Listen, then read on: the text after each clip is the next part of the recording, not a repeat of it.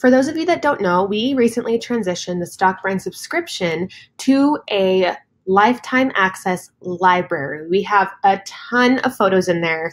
We've been collecting these photos since September of 2015, I believe.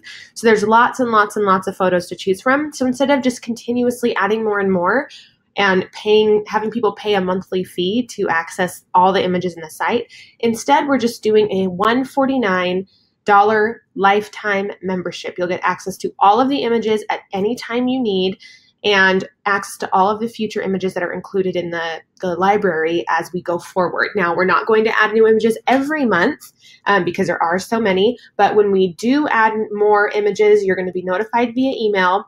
All the new collections will be shared with you, you know, in an email newsletter. They'll be shared on Instagram. We decide to put more images in there, but for 149, it's like the most affordable way to get a ton of images that all fit really well together for one low price one time. So let me just show you kind of what the library looks like right now.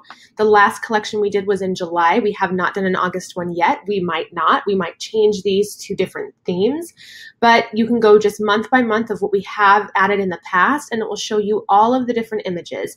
You can go ahead and click the image. You can control and save image as to your desktop. So that's how you save one image at a time. You can actually access this from your phone as well and just save it to your camera roll or you can go here and download the entire collection with this button. It will download in a zip drive. You double click on the zip drive if you're on a Mac computer and it will unzip where all your files, all full size, will be in there.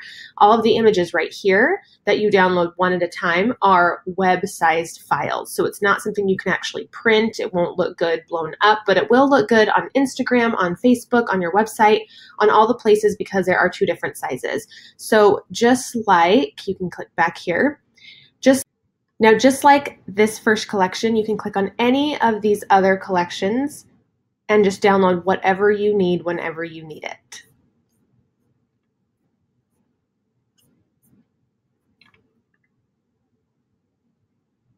You can also access the different collections from this top navigation bar.